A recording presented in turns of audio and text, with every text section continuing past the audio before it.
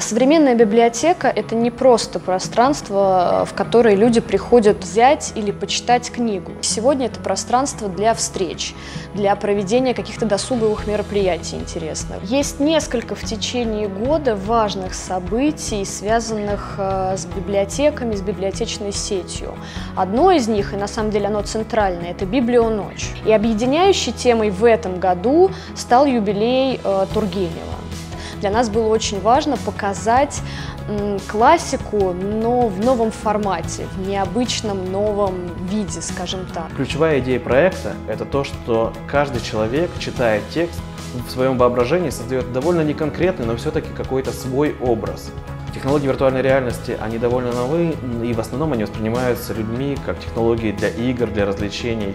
Мы же хотели не только использовать виртуальную реальность, но и создать внутри виртуальной реальности что-то, что вернет нас в обычный линейный формат кино и рекламы.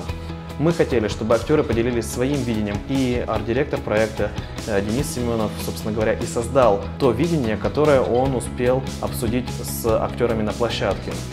Обычно рисование в виртуальной реальности — это такой персональный experience, когда ты один на один со своей фантазией и визуализируешь то, что ты придумал.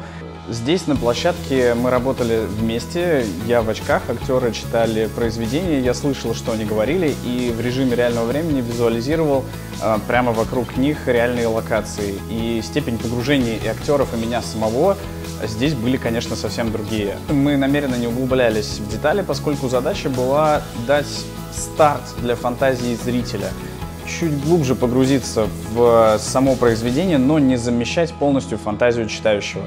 Рисунок виртуальной реальности дополнительно интересен тем, что его можно использовать во всех форматах. Это не исключительно подходит только для просмотра в очках, как, например, этот проект, он вышел и на телевидении, и в интернете, и в виде на экране. И это получается методический материал. У нас в библиотеке был такой VR-центр, можно было погрузиться через VR-очки внутрь этих роликов. Юбилей Тургенева празднуется в течение всего года. Мы постараемся еще максимально эти этими VR-продуктами, этими роликами поделиться как э, с московскими учреждениями, так, конечно, и с региональными партнерами. И мы надеемся, что этим проектом мы создали какой-то новый поток, новую волну интереса не только к виртуальной реальности, которой мы занимаемся, но и прежде всего к теме, о которой мы говорим, к чтению и посещению библиотек.